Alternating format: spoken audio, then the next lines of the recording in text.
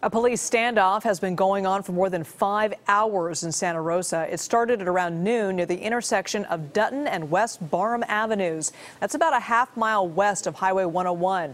Neighbors have been told to shelter in place. SWAT team members are on the scene wearing helmets and bulletproof vests. The Press Democrat says police reported that someone was inside a house with a long range gun. Within the past hour, police said they do not believe there are any hostages.